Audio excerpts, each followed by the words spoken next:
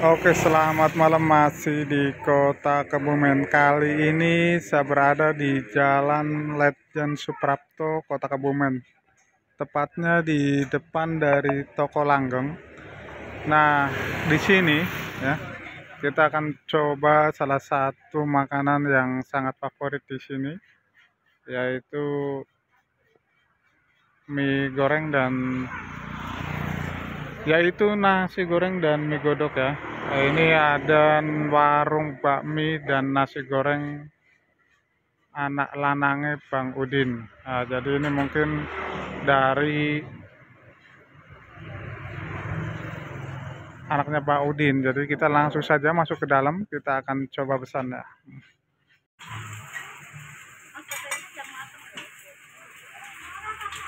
Di sini ada nasi goreng pete, nasi goreng ati, dan nasi goreng kepala ya. Ada di Jalan Lejen Suprapto, Kota Kebumen.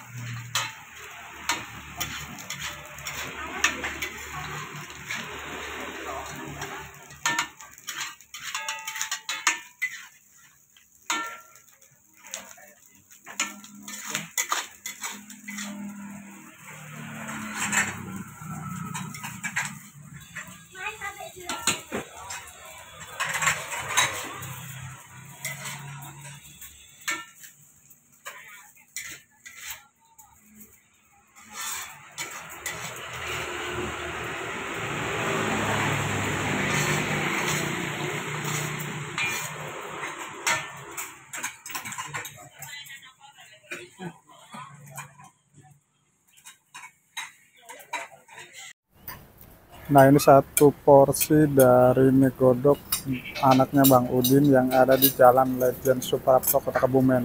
Ya, kita pesan satu porsi mie godok dan kemudian ini dengan nasi goreng pete. Ya, kita coba nasi goreng pete nah, seperti ini untuk pesanan kita dan bersama-sama kita akan coba nikmati seperti apa kedua dari makanan yang ada di Jalan Legend Suprapto tersebut.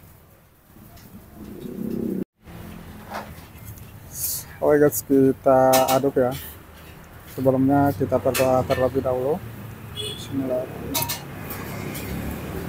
Nah, ini kalian bisa lihat telurnya ya cacahan telurnya kelihatan sekali ini dan minyak ini mie kecil ini ya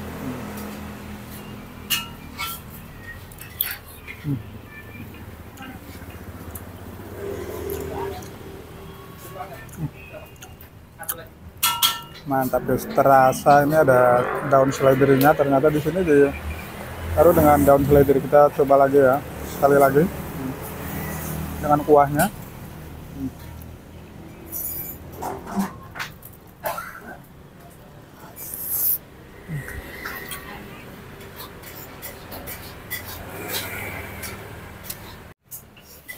Oke kita kali ini coba dengan nasi goreng petenya hmm, kalian bisa lihat mata dari buah petenya ya.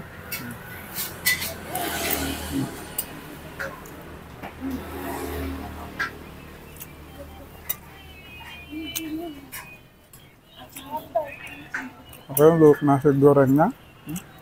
Nasinya ini kering. Tidak terlalu banyak minyak ya. Jadi biasa cenderung kalau nasi goreng itu banyak minyak dan ini kelihatan kering. Di sini ada acarnya juga.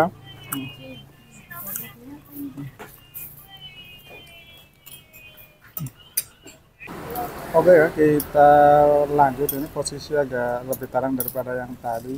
Dan posisinya ini ada di depan dari Istana Gordon ya, di Jalan Legend Suprapto ini ada warung nasi goreng dan bakmi anaknya Bang Udin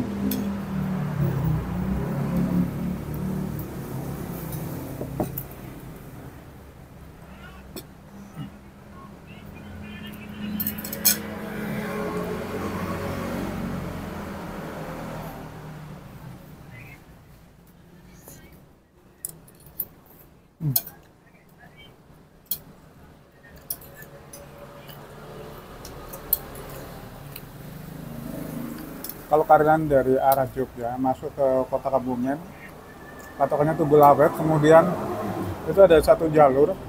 Kalian telusuri sampai nanti ada toko pojok lampu merah pertama setelah dari bundaran Tugu Lawet kalian belok ke kanan.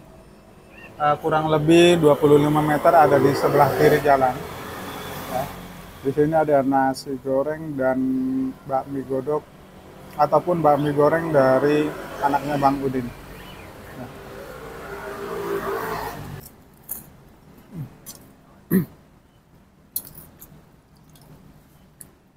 kuahnya dan kalian lihat ini telurnya ya kelihatan sekali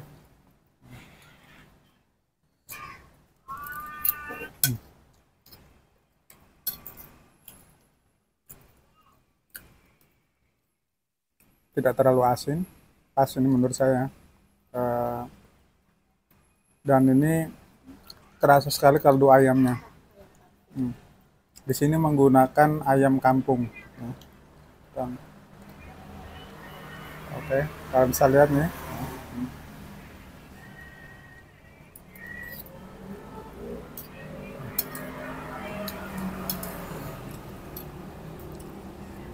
Dan di sini juga diberi dengan irisan dari daun seledri. Jadi rasa untuk segarnya daripada daun seledri seperti ini ya guys ya. Menggunakan mie kecil atau mie, mie telur kalau di sini di area Kebumen ini terkenalnya dengan mie telur. Ya. Minyak kecil-kecil ya. Ini lain dari mie yang digunakan untuk mie ayam ataupun mie goreng yang seperti produk-produk lain ini adalah mie telur.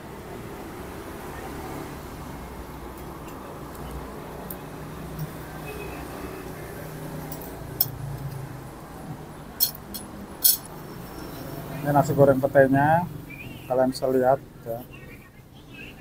Ini akan pete ini bisa meningkatkan nafsu makan bagi yang suka dengan buah pete ya. Jadi ini bisa untuk lalapan atau campuran daripada masakan yang uh, seperti tumis dan yang lain-lain ini bisa dicampurkan dengan pete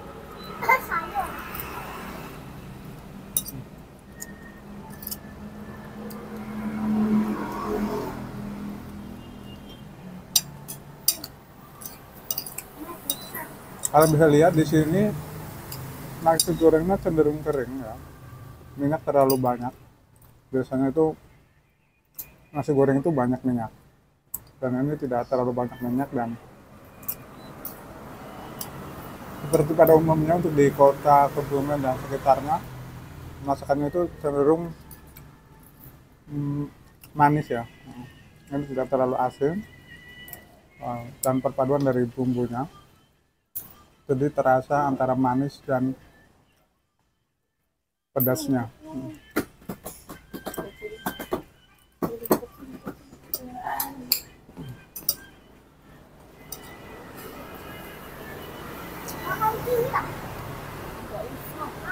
Selain dari nasi goreng pete di sini juga ada nasi goreng atin pela nasi goreng bakso nasi goreng kepala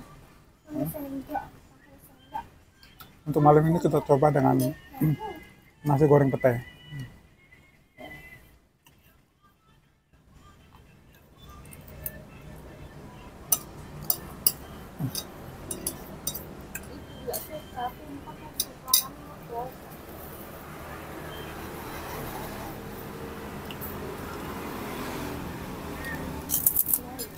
Oke untuk kali ini kita telah selesai menikmati bakmi godok dan mie eh, bakmi godok dan nasi goreng anak lanangnya Bang Udin yang ada di Jalan Legend Suprapto.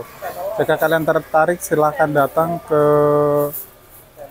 eh, warung bakmi dan nasi goreng anak lanangnya Bang Udin. Ya. Terima kasih atas dukungan Anda dan sampai jumpa di lain kesempatan. Terima kasih.